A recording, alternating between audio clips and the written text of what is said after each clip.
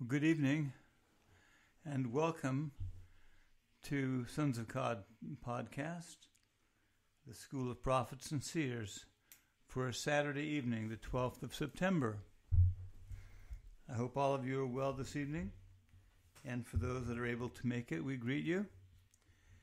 We've been in the flow of something today uh, that just kind of came as we were driving along the freeway, Anne and I talking, and the Lord began to uh, clarify a few things or remind us of a few things.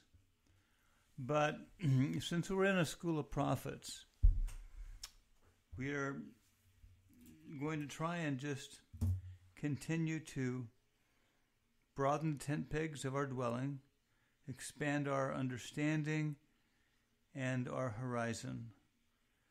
We're going to talk about a scripture we've read many times, but we're going to look at it in a different perspective because it is at the key of our prevailing, both in the warfare and in the execution of the judgments and the will of God during this time.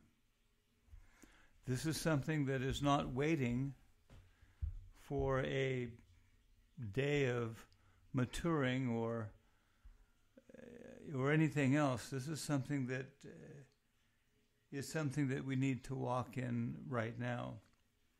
so, Lord, we draw your anointing. Lord, you're doing a, a, a marvelous thing in your sons.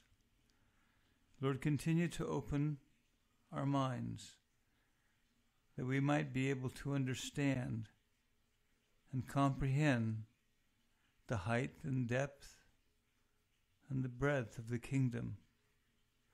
Because we know, Lord, that whatever we approach, if we approach it in our mind, we will not understand it. We may think we, we understand it, but it'll be far short of really what it can be. We know, Lord, the renewing of the mind is taking place. It's taking place daily. And we're expecting fruits daily as we are in this process of change. So, thank you, Lord.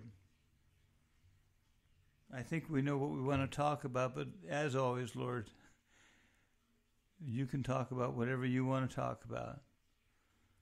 We're just the errand boy here. We're going to talk out of Mark 12, verse 29 which is also repeated in the book of Mark 3, verse 27. Now, this, I think, is a sleeper because we, we haven't realized how far reaching the dynamics are of this word, of the scripture how important it is and how much it lies at the very base of what we're trying to see accomplished during this time. But before we read it, I do want to add this. The only thing that really works, that really works, is when you're led by the Lord. Now, you might say, well, of, course, of course. But it's so easy to get into routines and not even realize that perhaps you're not really being led, more driven by your hunger, your drive, your your earnest interest or whatever. But what really makes everything work is when God reveals it to you. And, and, and that really doubles back to the word yesterday about seeing, seeing the word, seeing the Lord in the word. Um, so, just as a, um, a caveat or a, a preface, know that what we're going to talk about isn't really going to work unless the Lord leads, unless the Lord illumine, illumines the situation. Then you know what you need to do. It's not that every situation we enter, that we, we deal with, uh, doesn't have real dynamics happening behind it. But we've got to be led now more than ever. So we're going to talk about Matthew 12. Let me go ahead and read this. How can anyone enter the strong man's house and carry off his property unless he first binds the strong man and then he can plunder his house? Now, in times past, we've looked at that scripture many different ways. One, of course, would have to do with evangelism. If you go to 2 Corinthians 4, verse 1, it says, And even if our gospel is veiled, it is veiled to those who are perishing. The God of this age has blinded the minds of unbelievers so that they cannot see the light of the gospel of the glory of Christ, who is the image of God. Really, what we're dealing with here is understanding that to prevail in the warfare, to prevail in really anything that you do that God directs, it has to be preceded with an authority that is executed over the prevailing principality, power, throne, dominion, or demonic spirit before you can effectually, as the word says, plunder his house. And sometimes we don't, we haven't put that in proper perspective because if you go in the book of Revelation, it talks about how we prevail and they overcame by the word of their testimony and the blood of the lamb. And and and that that's true. But i believe that there's part of that equation that we haven't really seen in its correct perspective or relationship to that scripture in the book of Revelation, and it has to do with taking dominion, with taking authority. Um, so often, as we were talking today, there were some things that had to be taken care of. And of course, the answer is all right, we, we take dominion. We were in our time of intercession and prayer. All right, we need to take dominion over this, we need to take dominion over this. And the Lord then spoke and Anne said, well, wait a second. We need to bind the strong man here. It happened to be dealing with individuals. And the strong man was that which was blinding them from being able to see, from being able to hear. And, and, and you could say, well, who, who is that strong man? Well, in this case, it would be the satanic spirit world that literally is the God of this age, that literally at this point controls the hearts and minds of men and women across the globe. I mean, we're in a time of vast darkness, and it's getting greater. And people are not seeing, and the few that think they see, their arrogance has pretty much canceled that out. And so w- the warfare of the saints during this time is really multi pronged. You're dealing with the principalities and powers, thrones and dominions, that are governing this present age under Satan. And they are manipulating the minds and hearts of people through the media, through TV, any number of venues.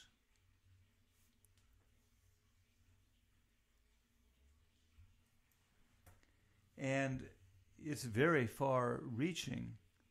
And so, as the sons begin to move in to take the kingdom, to begin to execute the judgments written, literally to begin to plunder the strong man's house, there has to first be a binding of that. You don't go into Satan's kingdom or what has been his kingdom and just, you know, think you're just going to plunder his house, evangelize the word, have the word. I mean, people are out there evangelizing, people are out there doing whatever. You know, and, and, and they think that, that it's gaining any ground. These uh, churches that have thousands of people, and they're just, it's, it's, a, it's a mockery before God. And, and these people that are sitting there listening, they, they don't have a shot in the dark of getting anything because there's no authority that's really opening the door for people to begin to experience the Lord on a level that will change them.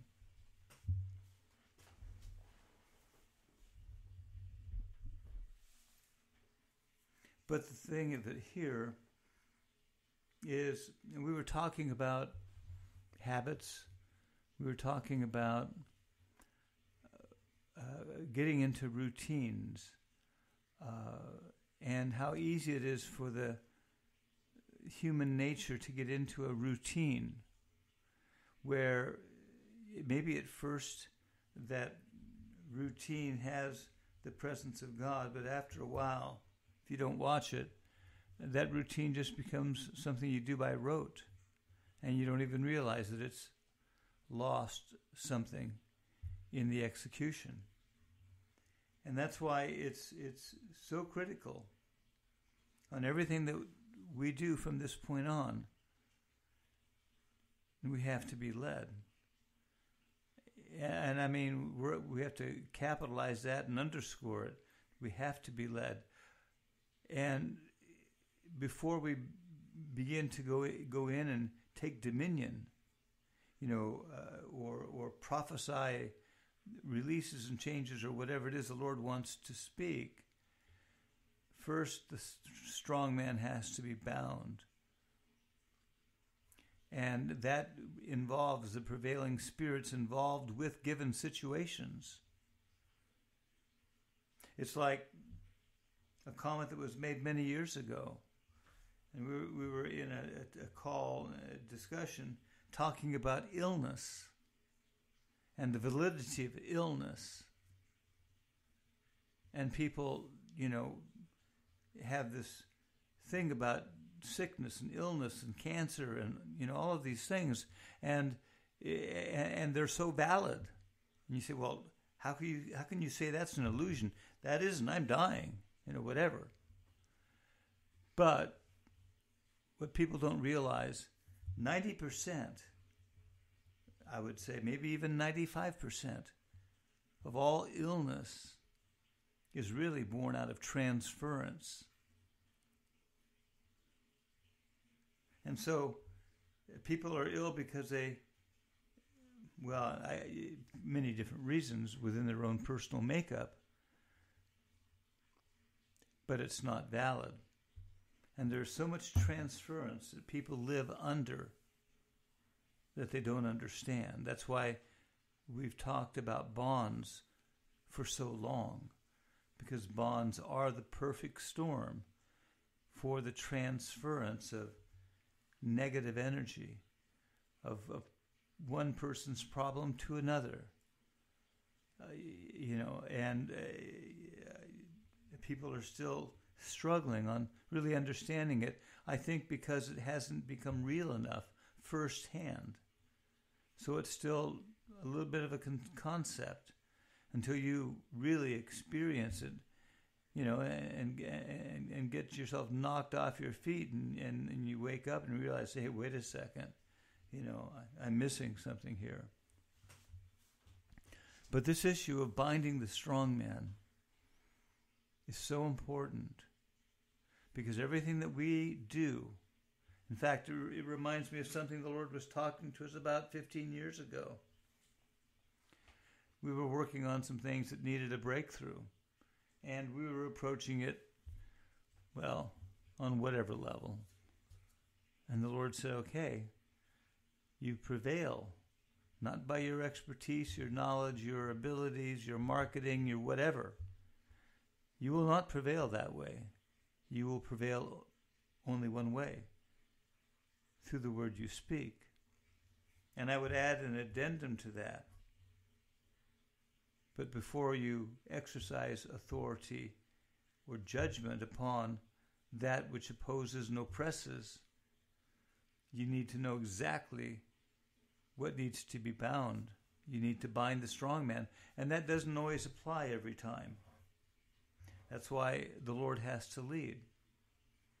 Because there are some situations that uh, there are other dynamics involved.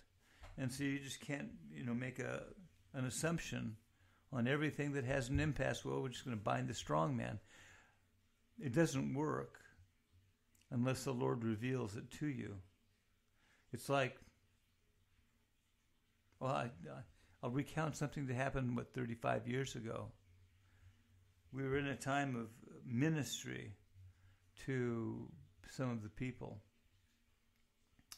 And some of the ministries got up there and, and they were prophesying uh, to the person, and nothing was happening. And then one humble uh, young man uh, discerned it, had the word, knew exactly what the Lord wanted to say, and he just spoke it. And everything changed. It wasn't the high powered ministries and all their prophesying. It was just someone that had discernment, spoke a word right into it, and it all changed. And so the correlation is just that we need to begin to bind the strong man. We need to plunder his house. And a great deal of what we're going to be dealing with and are dealing with are issues that have withstood the changes, have withstood uh, the execution of authority. Because we haven't bound the strong bound the strong man first. Um, and here again, this is something that you do by revelation. You could say, well, how is binding the strong man any different than just taking dominion? Well, in, some ways, they overlap quite a bit. But binding the strong man is very specific and it pertains to something that is happening right then, right there, and God reveals it. And you may not even know the name of the Spirit, that's not really even necessary. The main thing is you know that you exercise an authority that binds the strong man. You visualize it, you see it as you do it. Then you can plunder the house. You know, if you're believing for daughters, sons, loved ones, whatever, and you're praying for them, well, the answer, first of all, is you have to bind the strong man that has blinded their minds and hearts from being able to hear. Then you can speak to them.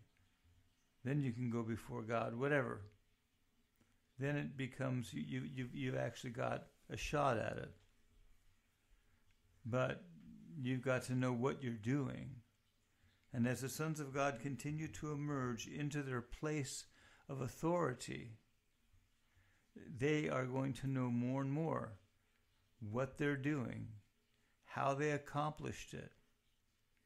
It's not going to be a, a shotgun effect where, well, I think it worked. I just kind of just, you know, aimed a shotgun and shot it in the air and I hit something. So all of a sudden, something's working. That's not really going to work. God's going to, to reveal to you this needs to be bound. You need to bind the strong man here. And then, as you begin to plunder his house, that can have a lot of different um, uh, meanings, whether it's the ability to impart and to bring a word to someone that will be able to change them, or whether or not that will open a door that has been closed in that house. And all of a sudden, you are then shown the various spirits and hierarchy that have been behind closed doors hidden. And then you can begin to exercise real dominion. It's like a two step process. You can say, well, I'm just going to take dominion, you know, over this general situation. A lot of times you won't even get in the house. But once you take the strong man out, then you get access. And then that's when things really get revealed. So, you know, for us, for the sons, partially effective doesn't work. Um, this has to be the day of full release and fullness. And we have to be able to see what we're doing and understand how we did it because we're going to have to walk in this principle more and more. But it cannot become a habit. It has to always be something that God reveals. Because when He reveals it, you're empowered to move accordingly. If He doesn't reveal it, then you just you have to leave it alone until He speaks. So I think that's pretty much. Uh, this is just a short word for a Saturday evening, but it's extremely important. Uh, like the word last night, hopefully the Lord will give us another opportunity to delve more deeply into this. But this whole principle of binding the strong man is so important as we move forward with every situation we're dealing with. You know, um, and even though it seems to have some similarity to just taking dominion, it really doesn't. It, it really doesn't. I mean, I can look at a half a dozen scenarios going on, and we need to see certain answers. And you can just say, well, I just take dominion. Unless God gives you some, some names and some absolute clarity, it's not going to really do too much until you first take dominion over the strong man, over that which is controlled. Then you have access into the house. Then you can begin to clean house. And whatever those spoils are, they belong to you. And, and so much of what we're dealing with, you know, has been hidden. The spirit world, their strong suit is the ability to stay hidden and to have you believe that something is when it is not. That's where they're effective. Their, their ability to hide, hide behind issues or events, you name it. But as long as they can be stay hidden and you don't see the operation of the spirit behind it and you just think you're dealing with this or that then they they succeed. And they've had a long time to perfect their ability to hide. And as we move to really bind the strong man it will begin to open the doors to a house where there's been a great deal hiding behind closed doors. And you'll have access to begin to take it out. I mean, start looking at the things you face differently.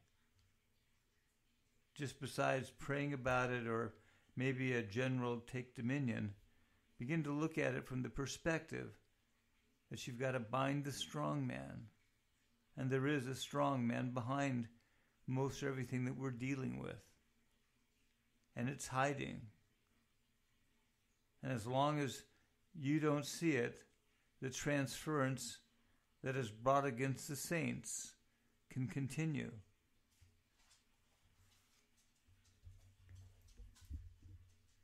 Well, I think that's about what we'll cover this evening.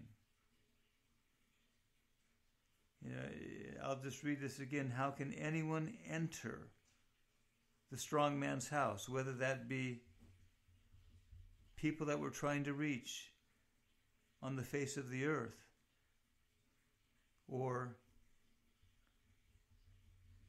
houses that we're trying to gain access to, to really get to that which is behind the scenes, any of that.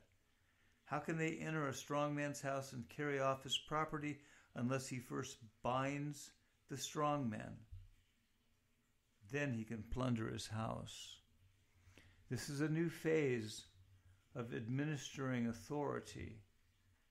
And even though we may have known the scripture before, it just sheds a little different light and a little different perspective. That as we move forward, we, we add this element into our awareness. Because the enemy is not going to continue to be able to hide behind closed doors or smoke screen everything until you don't realize what you're dealing with. This is a time of unveiling and exposing. It's a time that that which has been hidden is brought to the light. And that was a promise that came some months ago. That which is hidden is being brought to the light. Anne and I thank you for joining us this evening. And um, we will be working on another book. Uh, it'll be uh, a School of Prophets. It'll be book five. It might be a while before it's ready. Um, if any of you want to contribute to uh, either the cost of the podcast or the uh, the equipment that we need or uh, some of the conversion services and transcribing services, you're welcome to do so. Uh, I know the Lord will provide for us. Um, it's more, we've had a lot of people ask, what can we do? And there isn't really a lot uh, that uh, that we need help with. Uh, but um, if you feel led to give, um, you can do that. Um, I believe uh, our mailing address is at the website. So we send our blessing, and we will talk with all of you again soon. Amen.